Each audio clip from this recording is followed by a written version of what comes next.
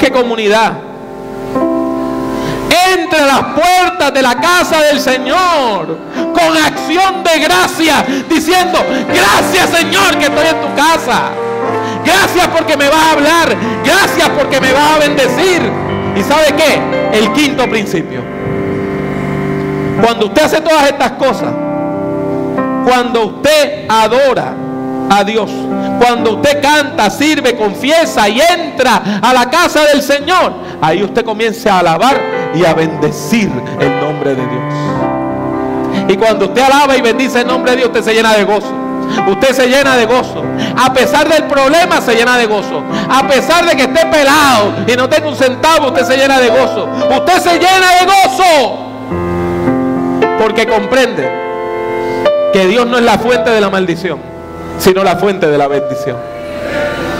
Y usted comprende que no importa el problema, Dios es más grande que el problema. Y usted comprende que no importa la situación maligna, Dios es el que nos trae la bendición y el gozo. Y usted va con una alegría a la vida.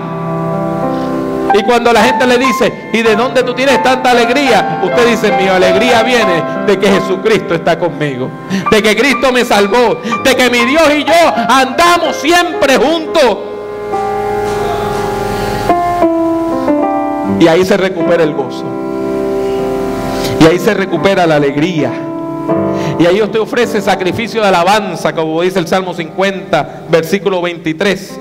Y ahí usted encuentra el camino de vuelta al gozo, al gozo verdadero y perdurable, al gozo que sale del corazón. Y por eso, yo quiero terminar en esta hora citando otro salmo. En el Salmo 51, versículo 12. Ese salmo que es un salmo penitencial, o sea, de una persona que ha cometido un pecado y está pidiendo perdón. El versículo 12 del Salmo 51 dice, una oración que yo quiero que ustedes y yo repitamos hoy. Y nota que me estoy incluyendo a mí mismo. Esa oración dice, devuélveme el gozo de la salvación. Y espíritu noble me sustente. Y entonces yo proclamaré tu palabra. Devuélveme el gozo de tu salvación, Señor. Devuélveme el gozo de tu salvación. Devuélvenos el gozo de tu salvación. El liderazgo de la iglesia que pida que nos devuelvan el gozo de la salvación. La oficialidad de la congregación que digamos, devuélvenos el gozo de la salvación los maestros y las maestras de escuela bíblica que digamos, devuélvenos el gozo de la salvación.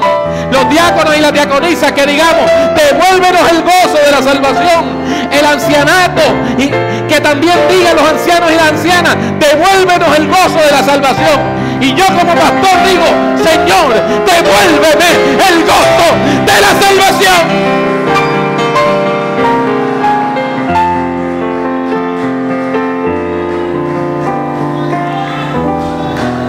Hay alguien que necesita la oración en esta hora. Venga al altar.